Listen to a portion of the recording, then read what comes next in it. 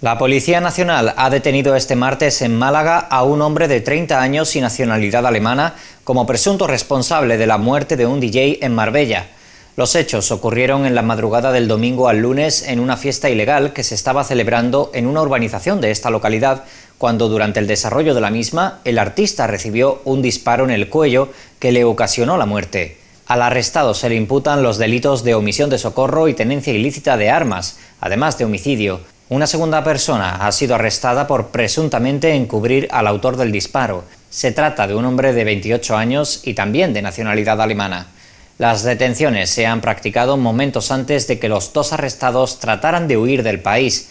La investigación policial continúa abierta.